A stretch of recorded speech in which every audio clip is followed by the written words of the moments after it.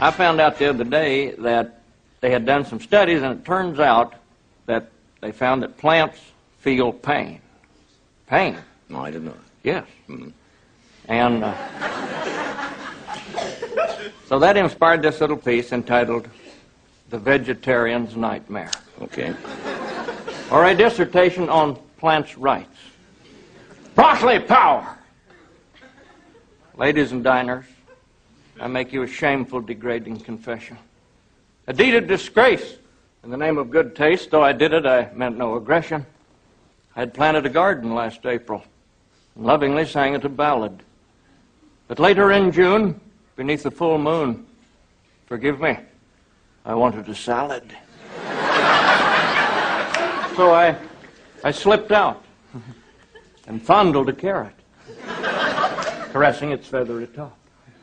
With the force of a brute, I tore out the root, and it whimpered and came with a pop. and laying my hand on a radish, I jerked, and it left a small crater.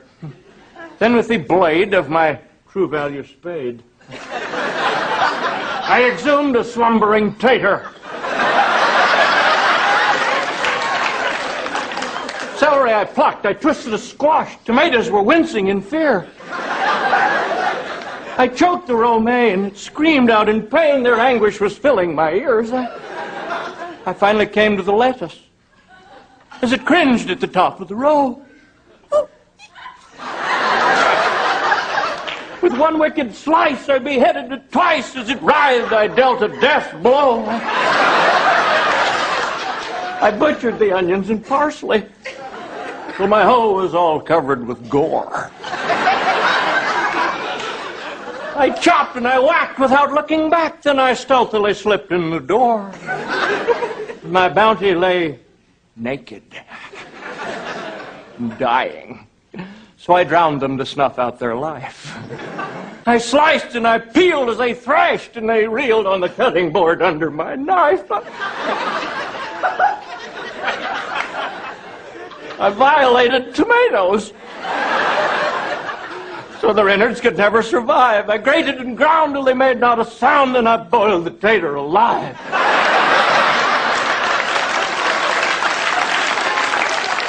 and then I took the small broken pieces I had tortured and killed with my hands and tossed them together, heedless of whether they suffered or made their demands. I ate them. Forgive me, I'm sorry. But hear me, though I'm a beginner, those plants feel pain. It's hard to explain to someone who eats them for dinner. I intend to begin a crusade for plants' rights, including chickpeas.